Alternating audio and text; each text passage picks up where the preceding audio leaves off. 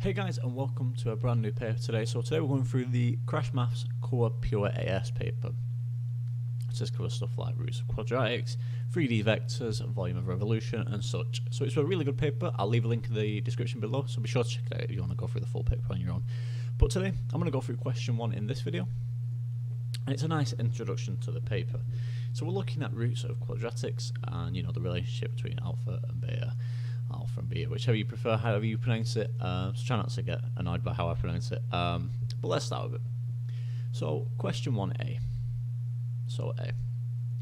So, we're told that this quadratic equation here has the roots alpha and beta, write down the value alpha plus beta, and the value alpha times beta, the product. So, the first thing I'm going to do here is get into the form where it's equal to 0. So, that means it's going to be 2x squared minus 5x plus 6, minus 5x plus 6, and that's equal to 0. And then what I'm going to do is I'm going to divide through by 2. So that gives me x squared minus 5 over 2, x plus 6 over 2, which is 3, so plus 3 is equal to 0.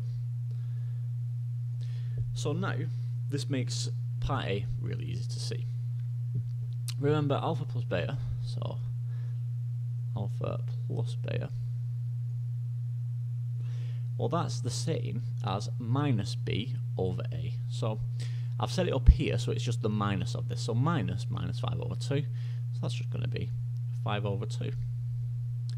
If it helps, it's just the same as doing minus this divided by this. So minus 5.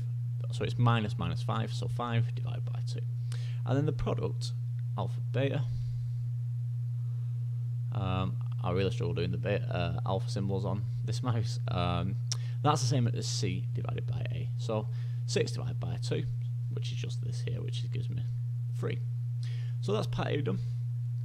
Part B is a hence, so you're probably going to use the first part to help you with this. So keep these in, in mind um, and see how we can use them for part B. So we have to find the value of this. So it's alpha plus 2 times beta plus 2. So to help with this, expand this double bracket here. So what's the double bracket going to be when I expand it? It's going to be alpha, beta, plus 2 alpha plus 2 beta, plus 2 beta, plus 4. Now, this doesn't look particularly helpful at this point. We've got alpha beta at the front, so that's going to be 3. Uh, we've got a plus 4, so that's going to be, you know, 7 when we add them together, but we've got this 2 alpha plus 2 beta in the middle, and we don't really have much to help with this. But notice I can factor out as a 2, so what I've got here is alpha beta plus 2 lots alpha plus beta plus 4. And we know alpha plus beta is 5 over 2. That's what we just worked out, and this is why it's a hence question. So, alpha beta, that's 3 that's equal to 3, plus 2 lots of 5 over 2, so that would be 10 over 2, which is just plus 5, plus 4. So that's the same as 3 plus 5 is 8, plus 4 gives me 12. And there we go, that's part B done. And then finally, for part C, we're given the quadratic equation 4x squared plus ax plus b is equal to 0. And we're given that this, or we're told that this has the roots a squared plus uh, alpha squared plus beta squared. I'm getting carried away with the English alphabet again. And we have to find the values of A and B.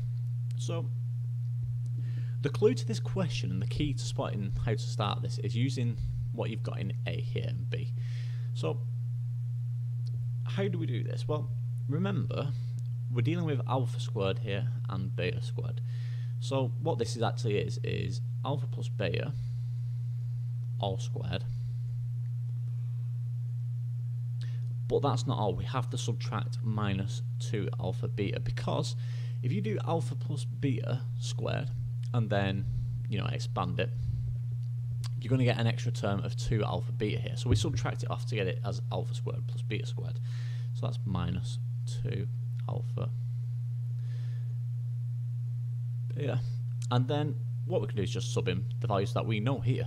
So alpha plus beta squared, so that's 5 over 2 squared, so that's 25 over 4. 25 over 4 minus 2 times alpha beta. So minus 2 times 3, so minus 6. So 25 over 4 minus 6, that's going to give me just a quarter. So that's the first bit. So that's a quarter. So that's the x term here. That's going to be the coefficient in front of the x. And we now need to work out this b on its own. And we'll work out b by doing the same that we did here with the product alpha beta.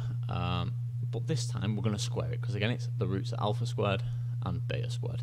So this is the same as doing alpha times beta and then squaring it. So what's alpha beta? It's going to be 3. So squaring that is going to give me 9.